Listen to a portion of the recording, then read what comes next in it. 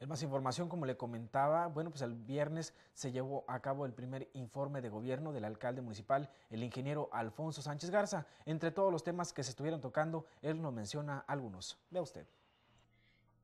Este 9 de diciembre, el alcalde municipal Alfonso Sánchez Garza rindió su primer informe de gobierno, en donde se resaltó el trabajo realizado desde el inicio de su administración, en la cual se abocó a reactivar los servicios públicos, equipando el Departamento de Limpieza Pública para normalizar la recolección de basura en las colonias de la ciudad. Otra de las áreas que esta administración recuperó fueron los espacios públicos con más de 11 millones de metros cuadrados, logrando entre sociedad y gobierno un cambio estructural para el municipio. Eh, se aprobaron muy buenas inversiones en el presupuesto de egreso gracias a las, a las gestiones del ingeniero Egidio Torre Cantú y eso habla de que este, el próximo año, el 2012, será un excelente año para nosotros. Bueno, pues eh, hay diferentes proyectos importantes, se terminará el puente ferroviario, una inversión de 800 millones de pesos, se dará inicio a una obra de agua y saneamiento de más de 500 millones de pesos para el próximo año, eh, tendremos una inversión de 330 millones de pesos para el puerto, entonces vienen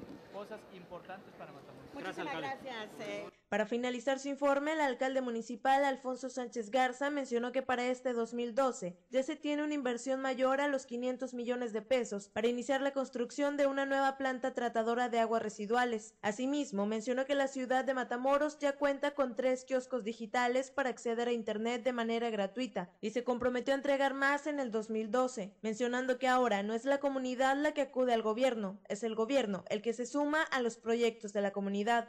Informó para 10 Noticias América Rodríguez. En más información le comento, como sabemos, pues en Tamaulipas se ha visto un gran avance o mejoramiento en cuestiones de salud. Esto para todos los tamaulipecos. Y aún se esperan inversiones y trabajos en cuestión de salud. Así lo da a conocer el secretario de Salud en Tamaulipas, Norberto Treviño García. Da usted. Disminución de casi el 60% de la muerte materna. El año pasado fueron 26 tamalipecas que desgraciadamente murieron al dar a luz. Este año eh, tenemos hasta este momento 11. Eso ha significado un trabajo arduo, fuerte y es un avance muy importante. Lo segundo es que hemos contenido, eh, mantenido en control a enfermedades transmisibles importantes. Eh, el, tercero, no, cero casos de cólera. Eh, y el cuarto, una disminución muy importante en los, casos de dengue, eh, de un 83% menos casos que el año pasado. Esos son los logros en salud muy importantes. una mejor atención a las adolescentes embarazadas, una mejor atención a las personas con sobrepeso y obesidad, que es un problema serio, y el fortalecimiento de, los, de nuestros centros de salud en, en el 2012.